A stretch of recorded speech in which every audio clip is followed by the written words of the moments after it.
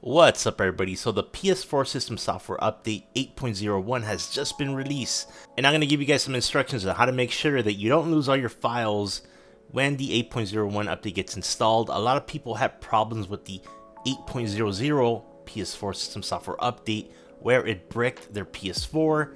They couldn't get it up and running again and they had to do a complete system wipe. They lost other files. So before that happens to your system, I'm just going to walk you through few things you'll want to do. So let's get started. So first thing you want to do since the system software update just got released right now, you'll want to disconnect your PS4 from the internet. So if you're connected via LAN cable, go ahead and disconnect the LAN cable. Now if you're on Wi-Fi, go ahead and turn on your PS4 and turn off the Wi-Fi momentarily so that we can do a few things before the system software update gets downloaded and installed automatically. Okay, now that you're taking your PS4 offline, what you want to do is go over to settings, go down to system, and then go down to automatic downloads. And what you want to do is uncheck this one right here where it says system software update files. You want to uncheck it because what this does is it will automatically download the system software update while your PS4 is in rest mode. So a lot of people have their PS4 to be in rest mode so it can download updates while it's kind of off or in rest. The problem with this is that with some PS4 system software updates, the PS4 will go ahead and automatically install the PS4 system software. And what happens when you turn on your PS4, you get this problem where it says cannot start the PS4 and you're in a world of hurt because you haven't backed up all your save games on your PS4. So first things first, uncheck the automatic download and installation of update files. Okay, then we're gonna press circle to go back. Next thing you'll wanna do is if you have PlayStation Plus, you can go ahead and back up your data to the cloud before you install the PS4 system software update. This is going to help you recover your save games in the event that your PS4 becomes not bootable and you can't get into it. So you go to application save data management and you'll want to go down to auto upload. You want to make sure that this is turned on because this is going to automatically upload your saved data, your games to the cloud if you have PlayStation Plus. Now, if you don't have PlayStation Plus, even though I highly recommend you get it, I will leave a link down below where you can pick it up because you get two free games a month and it will automatically save your games in the cloud in case something ever happens. Okay, so if you don't have PS Plus, what you can do is you can go to save data in system storage. That's the data that's sitting on the hard drive on your PS4. So what you can do here is manually upload your saved data to the cloud using this option.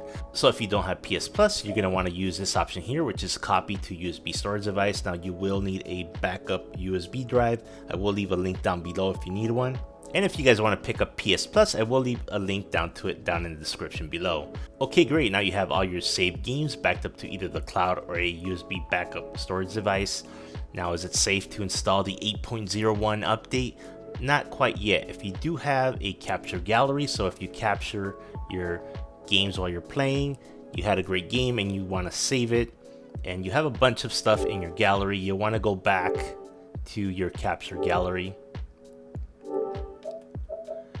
And I'll find mine right here. So if you start capture gallery, you're going to want to back up all this stuff too. So the capture gallery will allow you to back up your screenshots and your video clips. Okay, great. So now your PS4 is set up such that if you ever have a problem with the PS4 system software update, you will be able to recover your saved games and your capture gallery because trust me, once uh, you get that error where it says cannot start the PS4 and you tried everything and the only options are to initialize your, your PS4 hard drive, there really is no way to get your data back unless you've backed up beforehand. And I want to make sure that your PS4 lasts because I know a lot of you have been trying to get the PS5 and only a few people have been able to get the PS5. There's just such a high demand and low stock of the units. So let's make your PS4 last.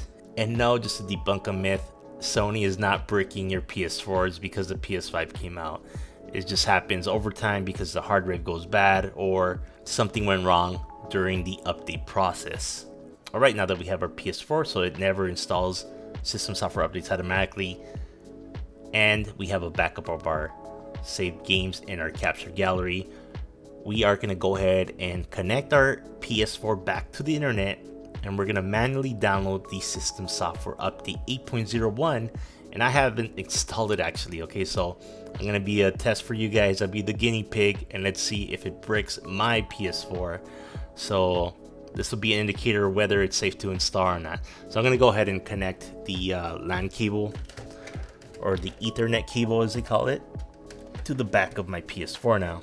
Okay, since we disabled the automatic download of PS4 system software updates, you won't see notifications saying it's downloaded the update. You're gonna have to manually go and check for a new update. And if there is a new update, the PS4 will allow you to download it. So you wanna go over to settings, go down to system software update. It's gonna go ahead and check and you see here it did find a system software update version 8.01 and it said it's available it added to our downloads so now we're gonna get the details really quick see what this update is all about. So it just says a system software update improves system performance. Yeah this is a pretty common one. Uh, so yeah maybe there was something wrong with the 8.00 and this is a system improvement to fix a few of the bugs. All right, so we're gonna go down to next and hit the X key. And it says the system software update will be updated. Then the PS4 will restart to start the update.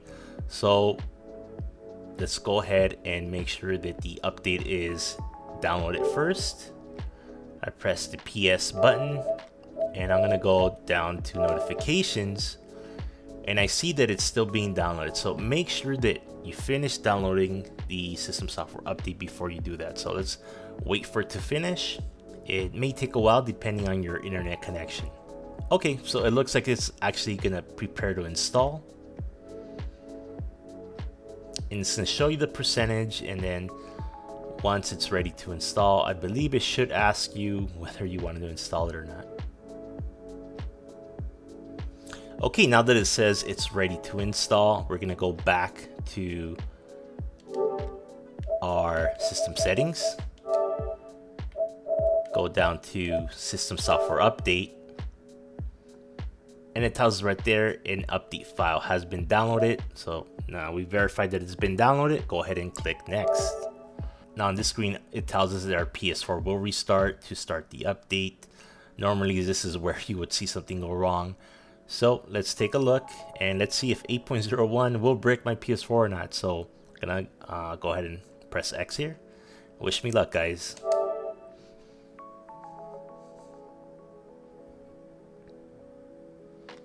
All right, this is a good sign. It says system software update. It's asking us to please wait. It's actually installing the update file. So, so far so good. What you want to look for here is if it gets stuck at any point, like at 24% or something for a long time or 99%, that means your hard drive may be going bad, okay? So just uh, something to look out for.